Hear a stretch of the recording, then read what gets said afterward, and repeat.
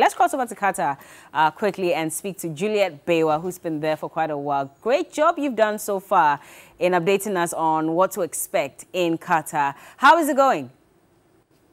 Well, Bella, thank you very much. And um, good morning to everyone watching us on um, TV3 and also New Day as well. But everything here in Qatar, everything is going well. We are counting down to the big kickoff. And um, I would say that they've outdone themselves here in Qatar and they are looking forward to this one month fiesta. The funds um, are in, most of them, some of them are also getting in. We're expecting about 1.5 million funds to come into Qatar. Mm. The teams are also arriving, and later today at exactly 4:15 p.m., okay. the Black Stars will arrive here in Qatar. So that will be around 12:15 in Ghana. So we'll mm. be there as well to um, get that particular coverage. So everything is going well. Um, Lionel Messi is here.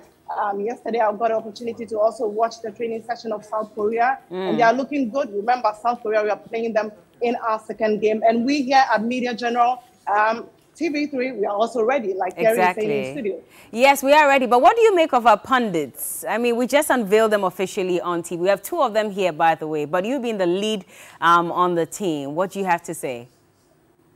Well, I think a, a lot of um, discussions or a lot of considerations went into us picking our pundits. We are not looking um, just about who come and add up to the numbers, but we're looking at people who have experience and also who have connection with um, the fans. You know, we're moving from that stage that we, we you don't have to get um, maybe old people in there to, for you to connect with people, but most importantly, persons who have in-depth knowledge about the World Cup and also about football as a whole. So if you talk about somebody like Eva Otri, she needs no introduction. You mentioned Emmanuel Agyemang-Badu, who has been to the World Cup before, so much experience, and he will be sharing that. We have um, Shilla Illiasu in there. He's been to World Cup before, and Shilla will tell you that it is an amazing feeling when you get to um, go to World Cup and even represent your national team. That is the most important thing. Mm. And we're also looking at the numbers. When we are talking about the World Cup, we are talking about the fans, we are talking about um, content, we are talking about the football,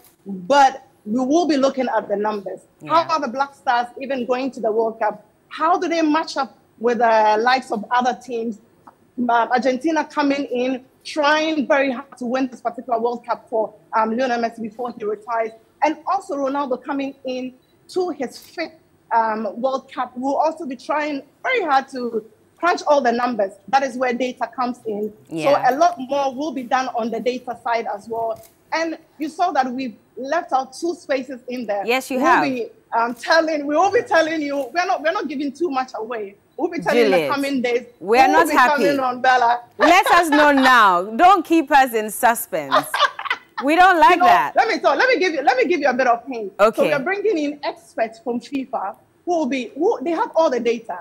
I so see. So with everything that we'll be doing on the touch screen, we will be getting an expert there, mm. and he'll be talking to us about the numbers. And don't forget, even in-house, we have our own data specialist. That is Oroku Ampofo. Oh, I see. He is amazing at what he does as well. So Oroku will also be helping with that. But we are getting someone in from FIFA who has all the numbers, who has all the data, nice. and will be helping us um, do that particular one. Well, thank you so much for joining us, and uh, we'll keep up the good work. We'll be coming to you again later in the day, I'm sure, to give us some more updates on when the Black Stars arrive in Qatar.